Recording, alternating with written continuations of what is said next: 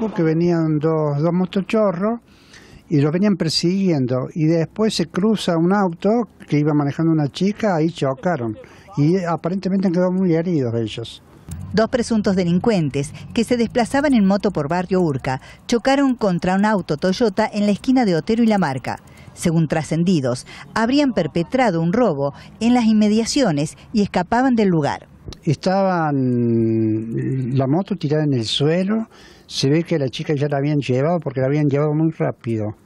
Y estaban las cosas ahí en el suelo, las zapatillas, esas cosas.